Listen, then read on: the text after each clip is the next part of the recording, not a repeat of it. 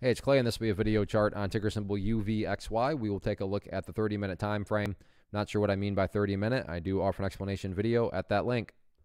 Well, a very, very impressive movement on this one, and the trend continues. And for those of you that watched the video I did on this one, Wednesday talked about that trend line there, and nothing has changed from there. Uh, that trend line is still the best tool to use to just gauge the overall health of the nice upwards movement right now. So you can see right here very clearly the price has got a, a great amount of momentum behind it. Uh, but as far as you know, gauging and measuring the health of this movement right now, like I said, the easiest way to do that is just to use that trend line because no matter how crazy things can get, I mean, the price could go up here and then fall all the way down here, and then go up here and then fall all the way back down here, and, and, and going crazy and crazy.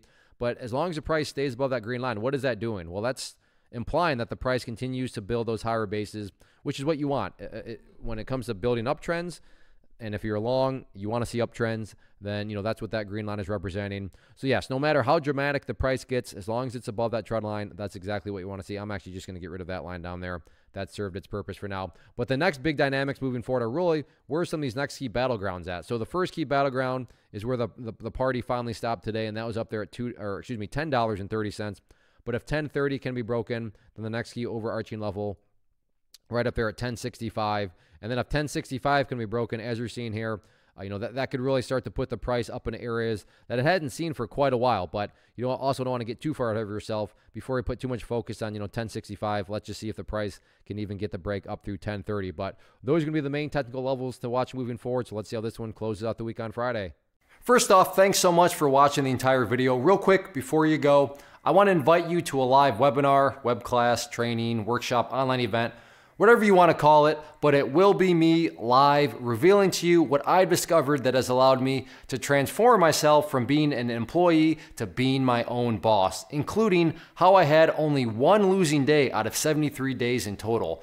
I'm going to cover three keys that have helped me unlock profitable consistency within the markets. The first key is super weird, but in a productive type of way. The second key is super awesome because it quite literally is wired into our DNA as humans, making it very easy to use. But in a cruel way, this becomes a pitfall for many traders. I'll explain it all though, including how to avoid the pitfall that it creates for some. And yeah, the third key, when you hear it, sounds way too good, way too good to be true, but it's not, and I'll show you how it all works. Then at the end, I open it up for a question and answer session that is, again, totally live. Even if you can't make the live session, please still sign up as it will be recorded, and you can go back and watch the replay that I will send you.